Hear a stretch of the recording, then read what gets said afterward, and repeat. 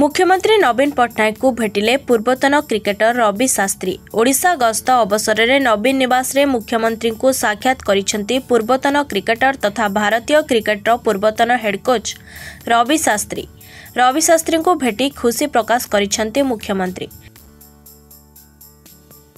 ନବୀନ ନିବାସରେ ମୁଖ୍ୟମନ୍ତ୍ରୀଙ୍କ ସହ ଫାଇଭ୍ ଟି ଅଧ୍ୟକ୍ଷ ଭିକେ ପାଣ୍ଡ୍ୟାନଙ୍କ ସହ ଆଲୋଚନା କରିଥିଲେ ପୂର୍ବତନ କ୍ରିକେଟର ରବି ଶାସ୍ତ୍ରୀ।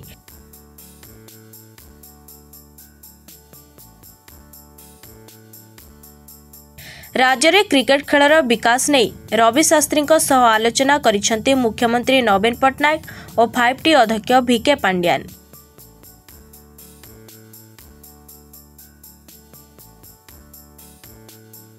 ଓଡ଼ିଶାରେ କ୍ରିକେଟର ବିକାଶ ନେଇ ଉନ୍ନତମାନର ଭିତ୍ତିଭୂମି ଗଠନକୁ ଉଚ୍ଚ ପ୍ରଶଂସା କରିଛନ୍ତି ପୂର୍ବତନ cricketer Ravi Shastri.